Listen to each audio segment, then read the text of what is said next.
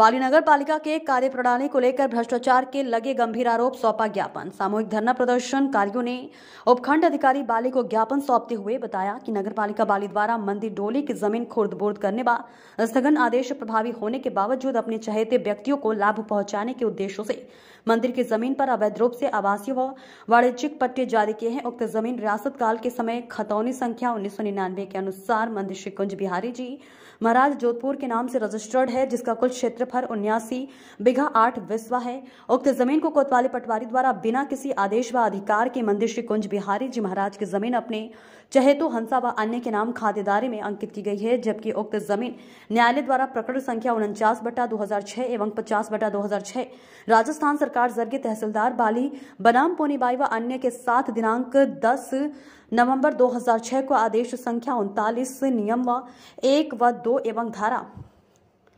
पंद्रह सिविल प्रक्रिया संहिता के आदेश स्थगन आदेश जारी किया गया, जिसमें आदेशित किया गया है कि उक्त वर्णित ज़मीन किसी अन्य को हस्तांतरण, गैर कृषि भूमि एवं परिवर्तन, खुर्द बुर्द तथा किसी भी प्रकार का कोई निर्माण नहीं किए जाने हेतु तो आदेशित किया गया था, जबकि नगर पालिका बाली द्वारा वर्णित आदेश दिनांक दस नवंबर दो हज़ार छह की धज्जड़ आते हुए उनके वर्णित खातेदारी भूमि में बंजर गैर मुमकिन वेरा की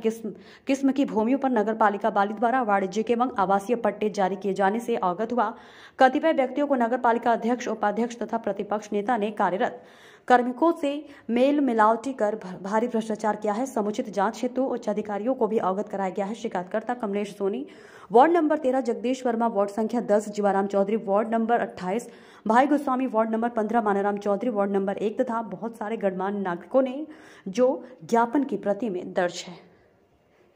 ठीक है दी हर जगह वही चल रही हो। हल्ला पे आ जाए तो बात तो पूछ लो बारे रिया चेयरमैन देखो भाई ठीक है? વાલીબી હોય છે હાલડીમાં હોય સેલરી આંટી ના માથે કોણ હેડ જો આપને આગળ થાય છે માં કેવાર કોમ હે કોની અને અંડર में जाए कॉम एलरी है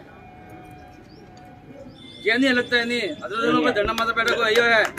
कि वनंडा है ऊपर आदमी जगह तैयार होना है सपोर्ट करवाना है